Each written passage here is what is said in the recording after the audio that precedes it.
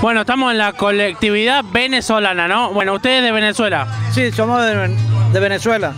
¿De dónde viene? ¿De qué parte de Venezuela? Eh, el estado Lara, Barquisimeto.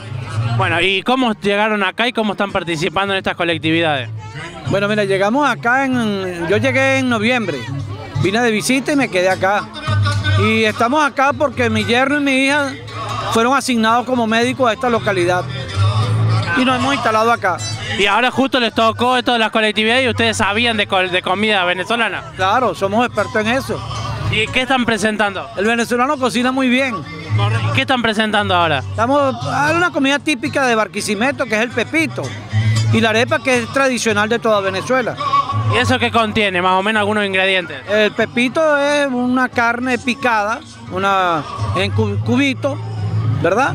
Con un relleno de queso, un relleno de una salsa especial que se le echa y de paso lo podemos gratinar. Muy bien. Bueno, y también están con el coro. Sí. Y la arepa es el pan tradicional del venezolano, que la podemos rellenar con lo que quiera, pues se presta para todo eso. En este caso estamos usando carne mechada y pollo mechado también con queso.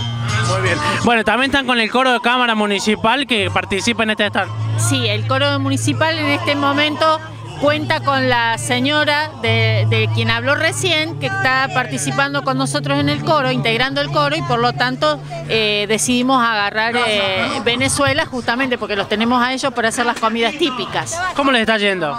Eh, muy bien, muy bien, se está vendiendo bien, a pesar que está fría la noche, pero la gente está consumiendo, está consumiendo. ¿Consume la comida venezolana? Sí, sí, está saliendo, gracias.